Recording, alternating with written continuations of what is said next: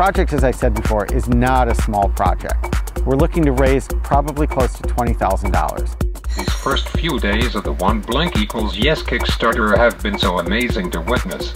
I want to thank everyone who has helped us reach our first funding milestone in such a short time frame. So if we can get this stuff so that he can actually DJ with his eyes, that will be a great gift to not only him, but to many, many, many people.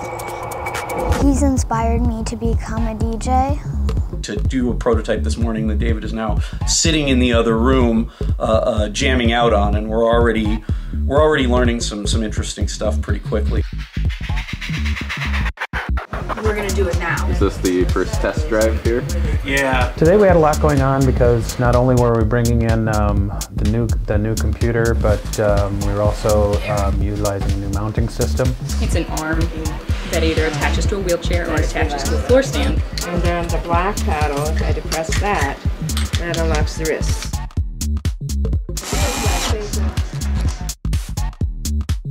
Um, I hooked up the, the brand new performance computer for him, and uh, he got a chance to, to use that and um, see some of the, the massive speed benefits that he's going to pick up using that system, and um, a lot more screen real estate. It's going to make it a lot easier for him to DJ. It's just a, it's a, it's a, it's just cool. That's the only way to, to describe it. Look at this! Oh, that's so awesome! Yay!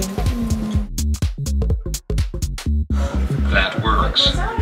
When we first brought in the new system and he was looking at it, it was just Do you feel ready to make your your big DJ DJ debut on uh, New Year's Eve? More ready than any gig pride.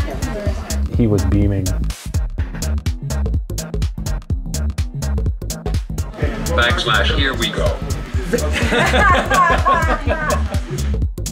You know, he'd be playing it around the house, and I'll be like doing dishes, and all of a sudden I'm like, I'm moving here. What's going on?